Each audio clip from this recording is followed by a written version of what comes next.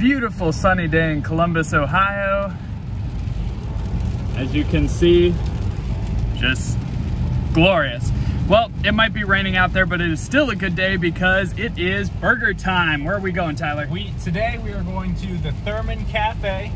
It is downtown Columbus, kind of a local spot. It's somewhat famous, I guess you could say. It was on uh, like an episode of Man vs. Food when that was still a thing, and very, very, very well-known restaurant. So I'm pretty excited. Oh my goodness, me too. It has been a week since I've had my last burger, or really my last good food of anything, so I'm very excited for this Thurman's. Um, we will review it, so stick around to see what we think of the taste, the atmosphere, and the price. Any last words? We need to get there faster because I am very hungry. We'll watch out for cops. We don't advise speeding, so we're, we're professionals.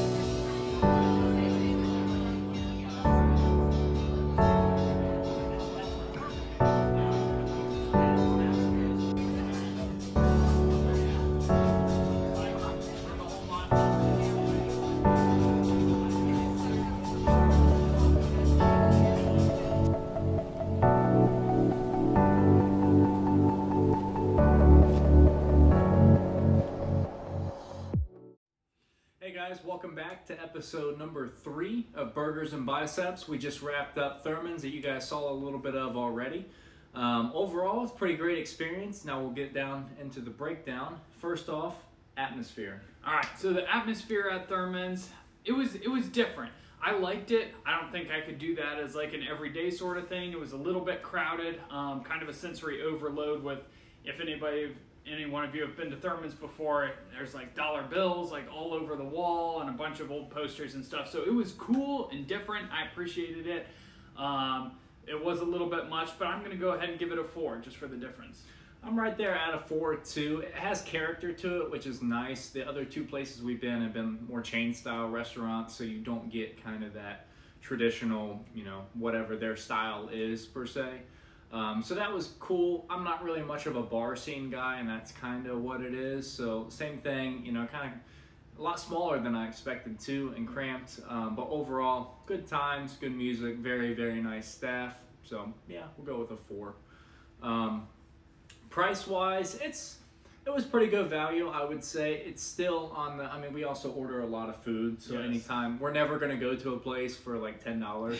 it's not gonna happen. It's not We- McDonald's. we usually shoot for like a 40 or 50 dollar between the two of us combined uh, price range and we hit that on the mark 50 bucks and we each got a huge burger that you guys saw some kettle chips and then we each got a basket of fries so i would give it a four um, because it was so good it is still more on the expensive side but price for value i say four Yep. I'm going to give it a 4.5. Uh, the 50 was with the tip and all that, and in reality, we probably only need one basket of fries in between the two of us because those burgers were huge. The basket of fries were very generous, so all in all, probably would have broken down to about 35 um, without the tip and everything we needed. So, yeah, I'm going to give it a 4.5 just because it is, there's some history and experience behind it too. So, a lot of times restaurants with a famous name will use that to upcharge even more um, than they than they probably should. This wasn't really the case. I feel this was good good bang for the buck.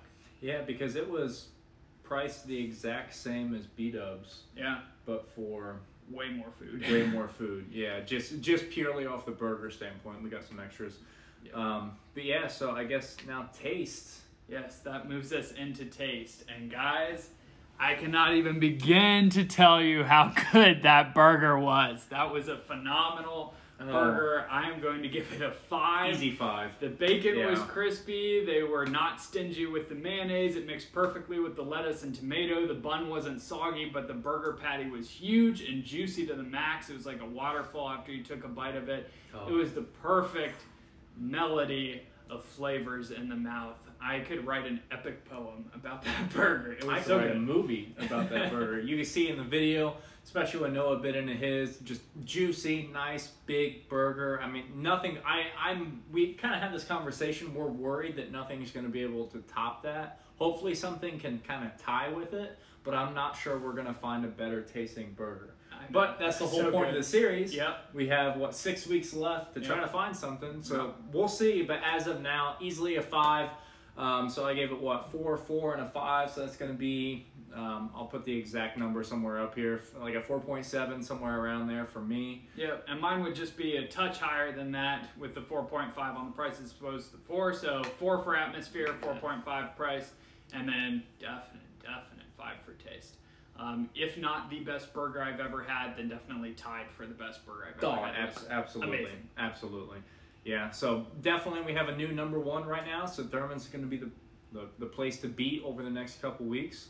So we'll see. We have not decided where we're going next week. We still have some research to do on that, but we'll see you guys then. Yep, and let us know in the comments if you have any suggestions around Columbus area for good burgers. So right now, time to take our pre-workout and put these burgers to use.